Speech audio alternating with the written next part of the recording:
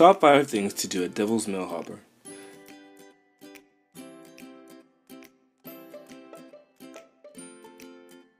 Devil's Millhopper Geological State Park, based out of Gainesville, Florida, is a lush park full of evergreen trees and many natural wonders.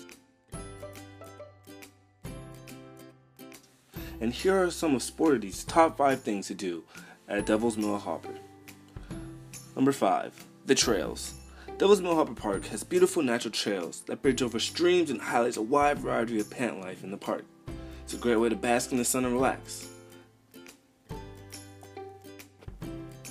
Number 4. The Picnic Hangout. Devil's Millhopper has a nice picnic area full of benches and open space. On a beautiful day, this is a great place to eat a snack or even to hang out with some friends. Number 3. Fitness in Mills Hopper.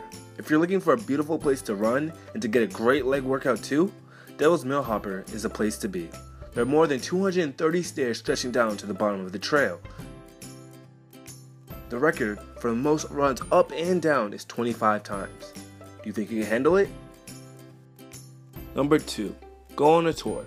There's so much history behind the parks.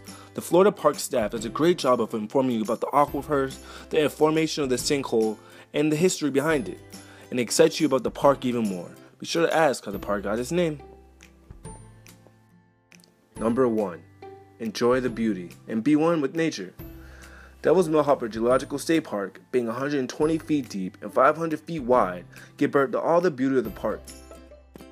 Devil's Millhopper is home to many different species of trees and organisms. I definitely recommend that you come stop by and enjoy top 5 things to do. And remember, leave nothing but your footprints and take care of the park. Hope to see you soon.